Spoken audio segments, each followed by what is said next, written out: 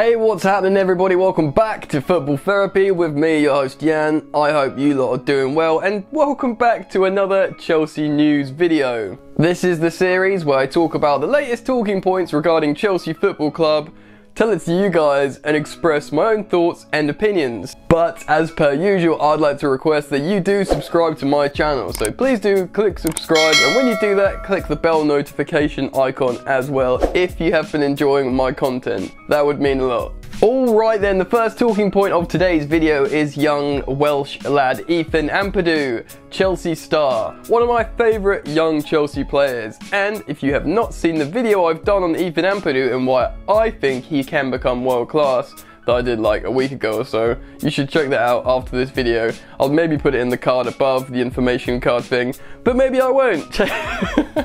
it's dependent on whether I remember. Anyway, the point being, I really rate Ampadu incredibly highly. I think he's an excellent player, and I've also been speaking lately how I think he should go on loan because we've got loads of midfielders at the club. Um, he probably can't displace someone like Jorginho or Kante, yet he's very, very good. And I said he deserves a Premier League loan, maybe lower mid-table, to just start game in, game out, which he's good enough to do at the young old age of 18. Anyway, in a recent press conference, Frank Lampard confirmed that Ampadu will be going on loan. That's why he wasn't with the squad. So that sounded good. Everyone was like, awesome, Premier League loan, hopefully not a Championship loan, because he's better than that. He deserves top tier, but it was good news. Frank said, I wanted to work with him, but I understand a loan is important.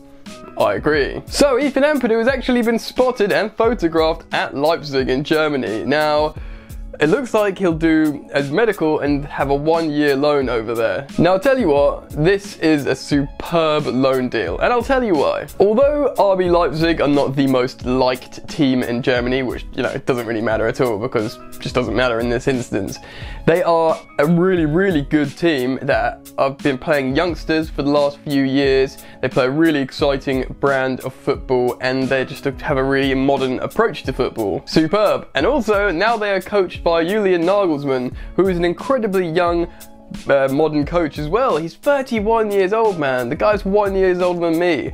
And I'm just here making YouTube videos. I'm joking, I love making YouTube videos. But at the age of 31, he's already got a few years top flight experience in Germany as a coach, so that's superb for Julian Nagelsmann. He's a really exciting young coach. I think Bayern Munich were looking at him.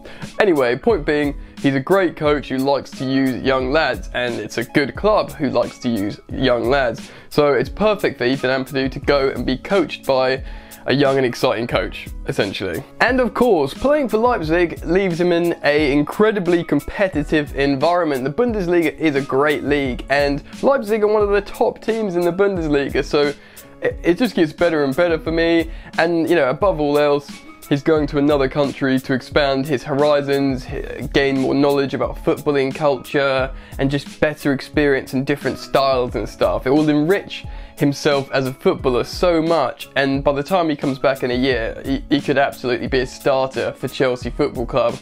Superb loan, Personally, I couldn't be happier. What do you guys think? Let me know. Right, next section in the video, I want to talk about Lampard's own words on a few Chelsea players. First up, the young American new Chelsea signing Christian Pulisic slash Pulisic, whichever way you want to say it. Lampard had this to say about Christian after Chelsea's recent 1-0 loss to Frontale. And I'm going to read this and I quote, He's been here a couple of days in terms of training. We've been really impressed. He's comfortable on the ball, and I think he should have had a penalty towards the end of that game. He wants to try and take people on, the sort of player the fans are going to like, so we have to give him a little bit of time to adapt slightly. But the way he's trained, the way he has come in with such personality looks great, and we're really pleased to have him. Great to hear from the coach Frank Lampard. It does look like he's excited in terms of the style of Pulisic's play, but we all kind of knew Christian Pulisic has got a great professional application and, you know, he's, he's a dedicated player, so the coach was always going to like him. He's very talented, it's good to hear from the gaffer, and exciting things to come. Alright, Mason Mount, so basically just a quick one on Mason. Frank's confirmed how he will stay with Chelsea next season and be part of the squad. Shock horror. Uh, this is unsurprising for a couple of reasons. One, because we know Frank Lampard absolutely loves Mason Mount, and the second being he's just penned a new five year deal. I know you could make the argument of Chelsea players often pen new deals before they go on loan, re Ethan Ampadu, But, it, you know, it just looks like he's been really good in pre-season and Frank really does fancy him to probably even start in most of his first team 11s in the Premier League, which is a big shout because personally, I thought Mount should go on a Premier League loan, maybe lower table. We'll have a midfield of Ruben, Jorginho, Kante, Kovacic, da da da da da. But it looks like Frank really does fancy Mount, and to be honest, the more I watch him in this Chelsea side, the more confident I feel. So, good news, Mason Mount's awesome. Next up, Kurt Zouma. Kurt is going to stay with Chelsea Football Club because Frank Lampard really likes him. now, if you've watched my video on Frank's loanee recalls, I talk about Kurt Zouma and how I think he should come back to the club, as he's an excellent defender, even though he wasn't great last time out in that pre-season game. He's a very, very good centre-back, Kurt Zouma. And Frank Lampard had this to say about him, and again, I quote, In terms of Kurt he is a very good defender for us, very good player, very good person, and professional. I want him here. Simple as that. We are competitive with the centre backs we have in the team, and he, he had a very good season at Everton, and I can understand why they want him. He's a Chelsea player, and I want him. Great to hear. Lamps wants Kurt Zouma, and why wouldn't he? He's a superb centre back with a great attitude and a great personality. So I'm very pleased he's staying with the squad. What do you think? Comment down below your thoughts on Kurt Zouma staying with Chelsea. And finally, I wanted to end this video talking about Frank Lampard's formations at Chelsea. Now, since arriving at the club and doing three preseason games now, we've seen him do all kinds of different formations and tactical approaches and shape changes. Now, this is a good thing. He's showing adaptability and pragmatism while still wanting to be direct and attack. That's really all you can ask for from your new young coach, which is great.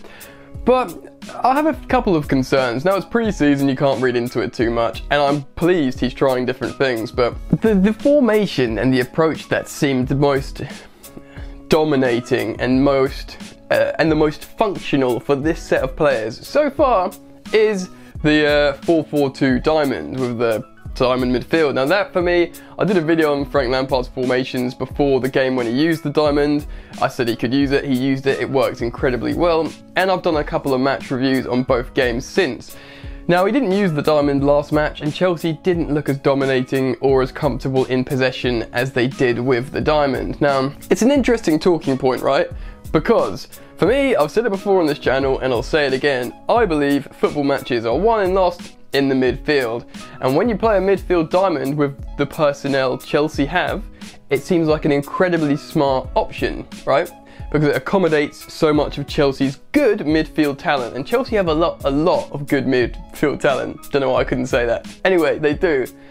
But my concern is, there's two concerns. One being that I'm not sure how good the diamond will translate to the Premier League, if its application will work in top flight English football like that, and if maybe teams will find a way around or because for me, playing a diamond is usually like an interesting tactical counter to something a bit different rather than having it as your default formation.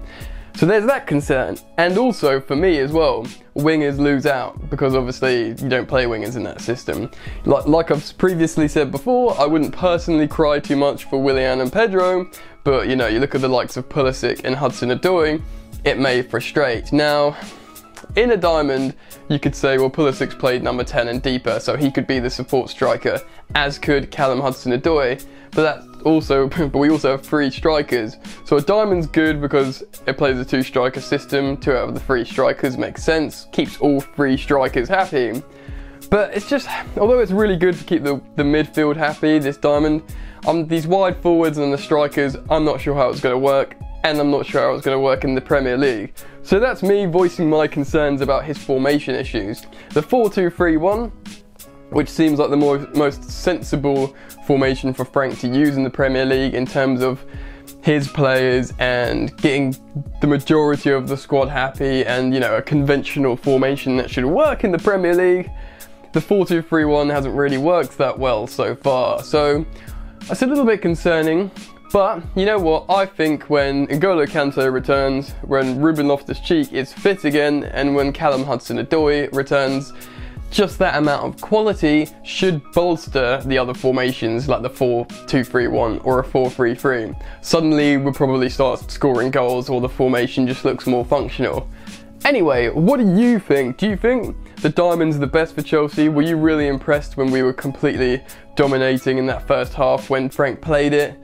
Do you see another formation working? Let me know in the comments below. And you know what? Like this video please, because that would help me out a lot. I'm really pleased with how the channel's growing. I'm pushing, I think, 8,000 subscribers, which is superb. So hit the subscribe button. You know what? If you know some other Chelsea fans or even just football fans that might enjoy my channel, why don't you tell them? And you know what as well? I'd like to plug my Patreon. Thank you to like the I think there's like 22 of you that have donated to my Patreon. It's $1 a month. Um, I'll message every single one of you. It really means a lot. It's a very little amount of money, obviously, $1 a month, but it supports my channel and keeps me going. And um, I'm going to look for more exclusive incentives to become a patron of my channel, like private live streams where I just talk to you guys about football. So check it out. The link's in the, the description. Uh, yeah, become a patron to my Patreon. And also, why not follow me on Instagram? I've got a new Instagram. No one follows me. Follow me on Instagram, at FootballYannick. Uh, I think that's probably it. I hope you enjoyed this video, guys. Let me know again in the comments. Enjoy the football. I'll see you later. So tough with that bad boy tuck. I'ma get it how I'm living. I'ma walk the walk. Outline my lines, I rap through thought. Body bag the verse, in my life, seen trouble, hustle on the double, silence on the trigger like my pick got a muzzle. Yo, chick like to guzzle, bad boy stay in trouble. I only love this paper, sorry I don't. I me, bitch.